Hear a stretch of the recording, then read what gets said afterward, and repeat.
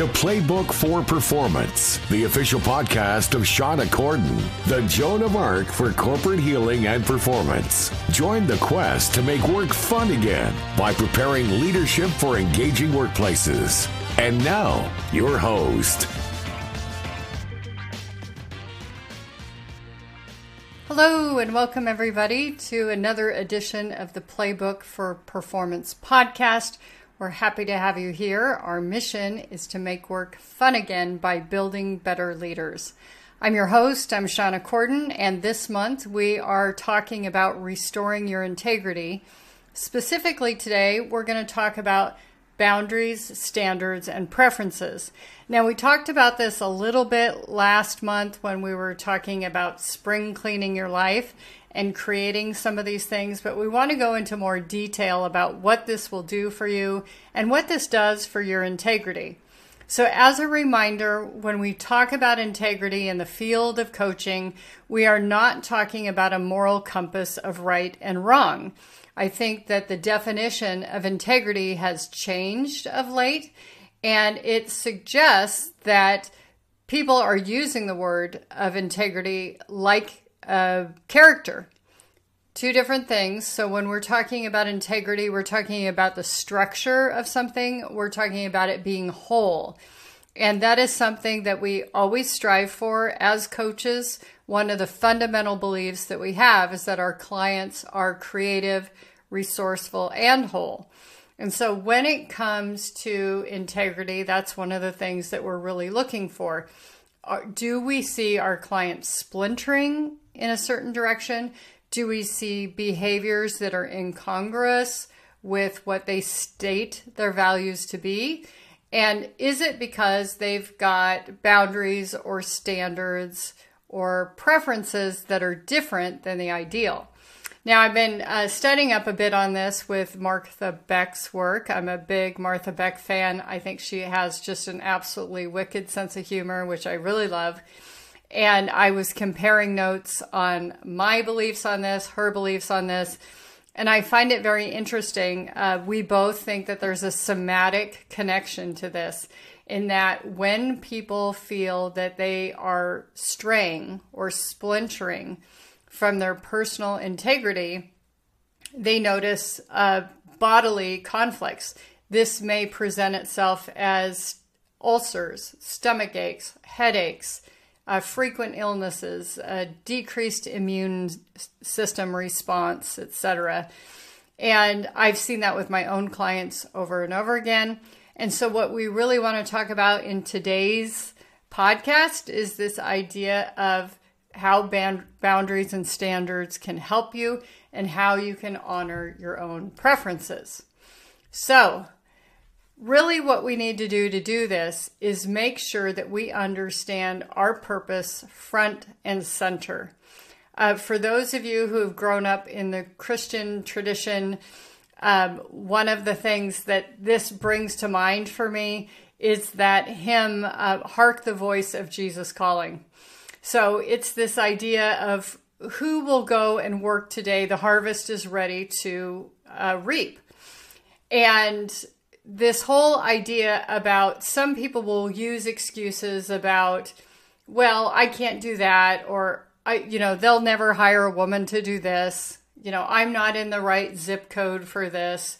Uh, I don't have the money to start this, etc. But the idea being that if if you can't do that, what can you do? And putting that purpose front and center. So I have shared this story before, but it's such a great anecdote. I want to share it again.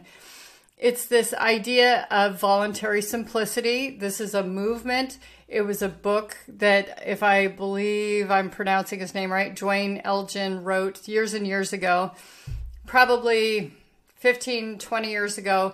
I went through the voluntary simplicity group work with some colleagues uh, at my old company. And one of my colleagues was really into biking, really into biking. and uh, he started our, I think it was a 12 week course. He started it with seven bicycles. By the end of the course, he had grown to, I believe, 12 bicycles. So hear me out. as we did this um, analysis of our purpose, um, our values, all of that, he recognized that he had been telling himself seven bicycles is way too much. I need to simplify. But as we analyzed how he spends his time, how he exercises, uh, what his family does for social activity, um, fitness, so on and so on, bicycling was the number one thing. And so he decided to double down on that and then let go of the things that he had that he was doing once or twice a year. And if I remember correctly, he had some canoes and he had some tents and things like that for camping. But the family really didn't enjoy it that much. It was taking up a lot of space. They didn't do it that frequently. And so they gave themselves permission to let go of those items and actually get more bicycles that would uh, help them do more things socially together, to go longer distances, things like that. So sometimes by knowing that purpose and keeping it front and center, it actually simplifies our life and it helps us stay in integrity. And so, again, we're talking about are we whole? So, he looked at this situation of his tents and canoes and things like that as splinters from that central purpose of his family being a biking family. But what might it be for you? It might be that your children have too many extracurricular activities. You value family time, yet Monday through Friday, and probably Saturday too, you've got 15 minutes in the car driving between events and you're eating in the car before practice, recital, um, rehearsal, whatever it might be. Um, and so if you simplified, if you narrowed down your children's activities, would that help? So, and would that put that value of family time together more front and center? Okay. So, again, when we're looking at integrity and we're talking about these boundaries and standards and preferences, we're really looking at how can you honor this and make it simple because the benefit of really knowing your values and acting in accordance of those values is that decisions become very very easy. So in the case of my colleague that grew his bicycle collection, it was easy for him when friends said, Hey, do you want to go camping? They'd go, No. you know, number one, they they enjoyed their time bicycling better. Number two, they had let go of the equipment that would help facilitate that. Number three, they could always invite their friends to bicycle with them, and, and that would keep it front and center. So, what are the things in your life that are incoherent? If you imagine yourself as an airplane, you know, we want everything to be buckled down tight um, and flying smoothly. But what are the things in your life that are causing, you know, the the plane to shake a little bit? That everything isn't in alignment? That um, perhaps pieces of the plane will peel off because the structure is not as tight as it should be. So the the number one thing that I see with my clients in this case is they say one thing and they do the other. And yet it would be far more simple for them to simply give themselves some grace, right? Uh, I did not realize that term grace under pressure came I just read this this morning, darn it, and I can't remember who it was. Grace under pressure, right? We want this idea of, of what we're doing, our words and our actions to match. And so, an example I gave to a client earlier today if you say, I eat very healthily, and yet every night around eight o'clock you crack open that Haagen Dazs, no judgment here then you're out of integrity. You're not doing as you said. But if you changed your words to say, I eat very cleanly through the day and I allow myself a treat at night, then you would be in integrity. And so that's what we're talking about here is changing the language that you use, your descriptions, what you tell yourself to match what you actually do in real life. Now, we know from research that the number one way to build our self esteem is to keep our commitments to ourselves. Each time that you say something that's out of alignment with how you really behave, you're actually degrading that self esteem. And why is self esteem important? Because that's what gives us courage to try new things outside our comfort zone, to try more challenging things, to live up to our potential. But if our self esteem is down in the dumps, because we have way too many of these splintering activities, things that we say but we don't do, then we really suffer for that. So think about all of the things that you have going in your life where you say one thing but you do another. Could be your exercise routine, could be your faith based study, could be um, your relationship with your friends uh, saying that families first, but they're getting the least amount of your time. Uh, all of those things are really good examples of the our values and our standards and what we say and do being out of alignment. So, how can we honor what we determine is that front and center thing? Well, we can simplify we can do as my colleague did and get rid of the canoes, the tents, and other things that distract us from that thing that really brings us joy and is truly something that we believe is important and valuable and something we really need to honor. So, own it is basically what we're saying. Own who you are, be honest with who you are, create that awareness. So, one of the techniques that we can use to really honor this is something that uh, we're borrowing from the, the great writer Julia Cameron, uh, who wrote the book The Artist's Way. One of the activities that she highly recommends is something she calls an artist date, where once a week you make a date with yourself, not for others. Uh, this is not a time to be deferential or compromise anything else. This is truly uh, something that feeds you and feeds you only with no other influence, and you do that. Now, an artist date might be laying in the grass and staring at the clouds. An artist date might be writing. Uh, an artist date might be going to look at great art. An artist date might be um, poking through an antique store and seeing what you find. It might be creating something.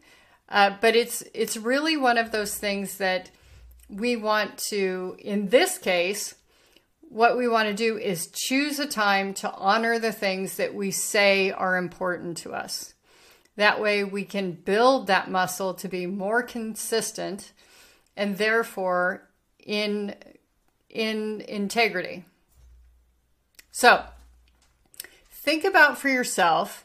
This is part of the homework for this week. Remember, Coaching without homework is just entertainment. We, we really want to honor that and take that action. What would you choose in terms of that purpose to be front and center? And what would you choose for the artist date to be? That would help reinforce that and help you be consistent with what you claim is truly important to you. Now, a couple things that can assist you with this uh, we want to lean on those boundaries and standards that we talked about last month. That means keeping the bad stuff out that interferes with the things that you say are front and center um, and keeping the good stuff in. This might be protecting your calendar. This might be uh, hanging out with people who have similar values. This might be investigating opposite values. Uh, but we really want to look at what it is, what's true for you, and keep those boundaries and standards up to date. And if if you missed our podcast on boundaries and standards, a quick little recap is that boundaries are basically our personal force field that keeps bad stuff out, good stuff in. And an example of boundaries is I don't let people tell racist jokes around me. That's a boundary. You know, I don't work on Saturday or Sunday. That's a boundary. I take a two week vacation uh, every year and I don't bring my laptop. That's a boundary. So, those are some examples. Standards are how you choose to behave yourself, what is important to you and how you conduct yourself. And so, those same things that I just mentioned as boundaries, those could be your personal standards. I always take a two week vacation. I never bring my laptop. I always bring my own reusable bag. I don't use single use water bottles, so on and so on and so on. Now, we want to be really careful how we phrase these things again because we don't want to be in the place where we're out of integrity. So, if I say my personal standard is I never use reusable water bottles, or I'm sorry, I never use single use water bottles, what happens when I go to um, a sporting event and I want to have water, and they do not permit reusable water bottles uh, at the gate. Okay, that what am I going to do? Not drink any water? so that's one of the things where you have to allow yourself some grace and add phrases that are like whenever possible or as long as it's allowed, things like that. So, those are some tips on those boundaries and standards. Uh, I also want to share a little bit more about this integrity piece in terms of how we really get in touch with what's important to us and how we need to phrase those things. So, probably 90% of my clients, when I first start working with them, they're not really sure what they want. They they've hired me, they're unsatisfied with their life uh, or their work, but they really don't know what they want. But they know plenty well what they don't want. Okay, so an example of this would be, you know, I, I don't want to work on weekends. I'm tired of traveling all the time. I want to uh, improve my life. But they haven't said how that's important. So sometimes that's a good start, is that idea of a process of elimination. So if I hear that same example that I just offered, then I'm going to go to. So what I'm hearing is you want more of a nine to five job without, you know, um, exception pay or on call status. It's like, yeah. So, but I think the way that my clients get that way, the way that they get to the point where they're they don't know what they want, is they have gotten lazy when it comes to their preferences. A lot of us get into the mode because we're so exhausted to say, I don't care, whatever you want. So your partner might ask you, what do you want for dinner? It's like, I don't care. Whatever you want. Where do you want to go? I don't care. Whatever you want. Uh, that is pretty lazy. it's also frustrating to your partner. And so I would like you to eliminate those phrases from your vocabulary altogether and practice. At a, at, at a minimum, just say, you know what, I'm not in the mood for Mexican food today. I really think that Thai or you know something would be better. You know, I don't want fast food. I don't want to eat meat. I don't want this. Again, you're learning more about what you want. I want something fresh. I want to be served at a table. I want some vegetables. I want something uh, prepared, you know, not on a grill, whatever that might be. So get in touch with yourself about things throughout the day, each day, whether you're sitting in traffic, whether you're doing your morning commute, whether you're sitting at the, the coffee shop trying to get work done, think about what do I prefer? So it might be I don't want to be at a corner table, or I love being at a corner table, or I'd really like a booth, or I don't like having a booth. It could be I want my coffee not so hot, Um, it could be, I need it practically boiling. But really naming those preferences out loud. Uh, and I would encourage you to jot them in a book, uh, put them in your phone, in your notes, things like that, and build up that list of what you do want, or definitely what you don't want, at least. Another way to help get in touch with yourself and what those preferences and values are is um, a tip that I have taken from the Wall Street Journal. Occasionally, in the off duty section, they run an, a feature called 20 Odd Questions, where they will take a chef, an inventor, something, and basically pose to them 20 odd questions. It could be, you know, what's the most frequently uh, used app on your phone?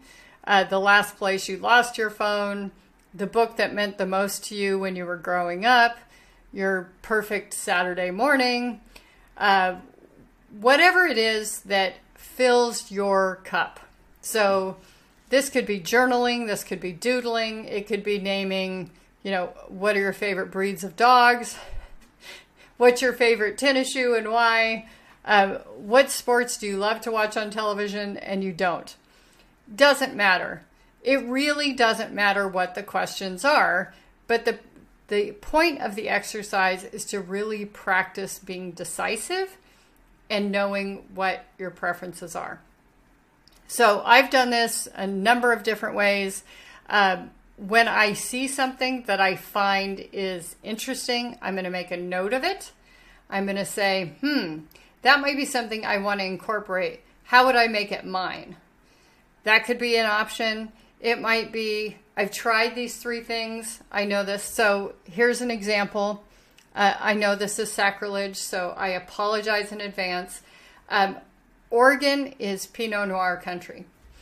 I personally am not a Pinot Noir fan. I feel like it's a watered down good wine. And all my friends and my husband say, You just haven't had the right one. Well, I've had a lot of them, and they're not my favorite. And I enjoy them, they're just not my favorite. And so if I have a choice, I'm going to go for a Zinfandel or something like that. I like, you know, a, a fruitier wine that's that's bolder, etc. So um, as I accumulate things, you know, I'm not trying to convince anybody of anything, but um, as I accumulate my likes, I like to note them. I've got, you know, a little journal of this is how I like doing this. This was my experience doing this. Next time I do this, I want more of this. And so practicing that over and over again can really help you out in terms of getting to know your likes and what would create the boundaries that would protect those likes. And are there any standards that you need to enact in order to really reinforce those likes. So, again, going back to uh, field work for this week, thinking about your integrity, what we want to do is look at what is your purpose front and center. What are you about? What actions and words do you have totally in alignment? And how can you rephrase how you talk about yourself so that you are in integrity? Uh, I am a huge fan of the the biblical phrase, "The truth shall set you free," and I strive for truth in everything I say. I want to correct uh, anything that I mistake. And so, as I use my words, I try to be really careful because I don't want to put myself in a situation where I am in conflict and I'm lowering my self esteem. So, homework this week think about purpose front and center, how you can honor it, choose that artist date that's going to help you honor that. Practice eliminating from your vocabulary, I don't care, or whatever you want. Practice what you do want. Give yourself an extra five seconds to answer the question. And then come up with your own 20 odd questions Start journaling your perfect Saturday, your ideal morning, your ideal coworker, all of that. I find I'll I will bet, and I would love to hear your comments. You can send them to podcast at shawnacorden.com. But I'm going to guess from your comments that what you come up with is going to be really satisfying. And if you're careful with your words, you're going to be eager to fulfill those week after week. So that's all for this week. Uh, next week, we're going to be talking more about this theme of integrity. So don't forget to like and subscribe at the button below. And we'll look forward to seeing you all next week. Take good care.